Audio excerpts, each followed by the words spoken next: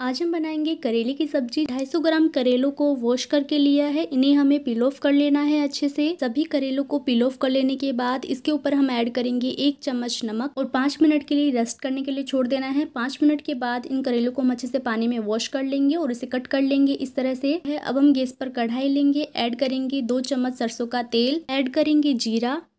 साथ ही ऐड कर लेंगे प्याज को हल्का भून लेने के बाद ऐड करेंगे एक चम्मच लहसुन का पेस्ट। साथ ही ऐड करेंगे दो हरी मिर्चें, बारीक कटी हुई सभी चीज़ों को प्याज के साथ भून लेंगे। ऐड करेंगे ड्राई मसाले, आधा चम्मच हल्दी पाउडर, एक चम्मच लाल मिर्च पाउडर, दो चम्मच धनिया पाउडर और एक चम्मच हम ऐड करेंगे सौंठ का पाउडर। भून लेने के बाद ऐड करेंगे कट किए हुए करेले। साथ ही ऐड करेंगे एक चम्मच नमक, सभी चीज़ों को मिक्स कर लेने के बाद लो फ्लेम पर ढक करके पाँच से छह मिनट तक पका लेंगे। एट्टी तक पका लेने के बाद ऐड करेंगे, एक चम्मच अमचूर पाउडर और दो मिनट तक और पका लेंगे और ये लीजिए करेले बनकर के तैयार।